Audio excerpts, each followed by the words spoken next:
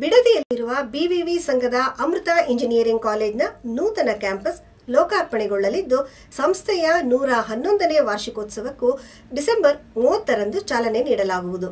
ಪತ್ರಿಕಾಗೋಷ್ಠಿಯಲ್ಲಿ ಈ ಮಾಹಿತಿ ನೀಡಿದ ಸಂಸ್ಥೆಯ ಕಾರ್ಯಾಧ್ಯಕ್ಷ ಹಾಗೂ ಮಾಜಿ ಶಾಸಕ ಡಾಕ್ಟರ್ ವೀರಣ್ಣ ಸಿ. ಚರಂತಿಮಠ ಬಾಗಲಕೋಟೆಯ ಬಸವೇಶ್ವರ ವೀರಶೈವ ವಿದ್ಯಾವರ್ಧಕ ಸಂಘ ಸಾವಿರದ ಒಂಬೈನೂರ ಆರರಲ್ಲಿ ಸ್ಥಾಪಿತವಾದ ಸಂಸ್ಥೆಯಾಗಿದ್ದು ಬೆಂಗಳೂರಿನಲ್ಲಿ ನೂತನ ಇಂಜಿನಿಯರಿಂಗ್ ಕಾಲೇಜು ಕ್ಯಾಂಪಸ್ ಪ್ರಾರಂಭಿಸಲು ಹೆಮ್ಮೆ ಪಡುತ್ತದೆ. ಬಾಗಲಕೋಟೆಯಲ್ಲಿ ಪ್ರಾರಂಭವಾದ ಒಂದು ಶತಮಾನಕ್ಕೂ ಹಿಂದೆ ಈ ಸಂಸ್ಥೆ ಶ್ರೀ ಬೀಳೂರು ಗುರುಬಸವ ಮಹಾಸ್ವಾಮಿಗಳ ಕರ್ತೃತ್ವ ಶಕ್ತಿ, ಸಾಮಾಜಿಕ ಕಳಕಳಿಯಿಂದ ಬೆಳೆದು ಬಂದಿದೆ.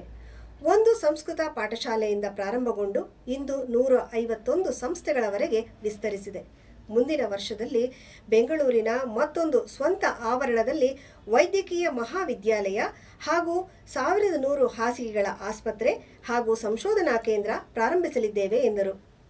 ಸಂಸ್ಥೆಯ ನೂರ ಹನ್ನೊಂದನೇ ವರ್ಷಾಚರಣೆಯ ಅಂಗವಾಗಿ ಸಮಾಜಕ್ಕೆ ನೀಡುತ್ತಿರುವ ಕೊಡುಗೆಗಳು ಫಿಸಿಯೋಥೆರಪಿ ವೈದ್ಯಕೀಯ ಮಹಾವಿದ್ಯಾಲಯ, ಪ್ರಕೃತಿ ಚಿಕಿತ್ಸೆ ಹಾಗೂ ಯೋಗ ವೈದ್ಯಕೀಯ ಮಹಾವಿದ್ಯಾಲಯ ಬಾಗಲಕೋಟೆಯ ವೈದ್ಯಕೀಯ ಮಹಾವಿದ್ಯಾಲಯದಲ್ಲಿ ಸ್ವತಂತ್ರವಾದ ಸೂಪರ್ ಸ್ಪೆಷಾಲಿಟಿ ವಿಭಾಗ.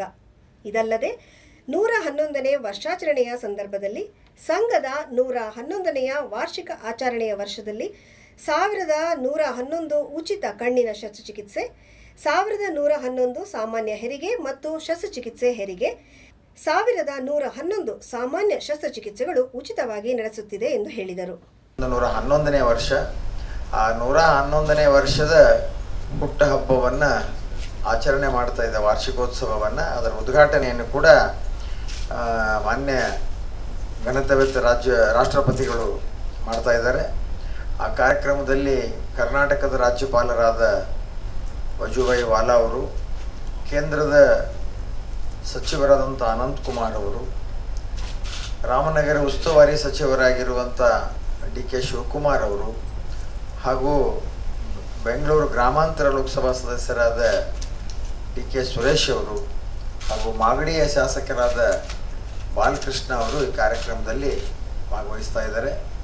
ಬಾಗಲಕೋಟೆಯಿಂದಲೂ ಕೂಡ ನಮ್ಮ ಸಂಸ್ಥೆಯ ಎಲ್ಲ ಸದಸ್ಯರು ಈ ಕಾರ್ಯಕ್ರಮದಲ್ಲಿ ಭಾಗವಹಿಸ್ತಾ ಇದ್ದಾರೆ.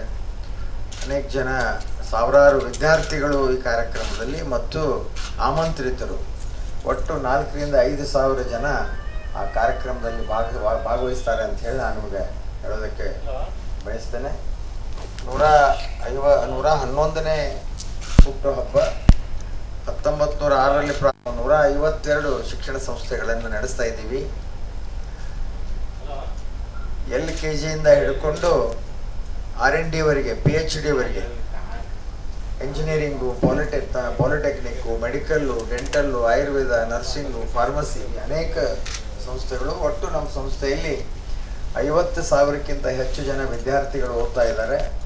ಐದು ಸಾವಿರಕ್ಕಿಂತ ಹೆಚ್ಚು ಜನ ಸಿಬ್ಬಂದಿಯವರು, ಶಿಕ್ಷಕ ಹಾಗೂ ಶಿಕ್ಷಕೇತರ ಸಿಬ್ಬಂದಿಯವರು ಕೆಲಸ ಕಾರ್ಯಗಳನ್ನು ಮಾಡ್ತಾ ಇದ್ದಾರೆ.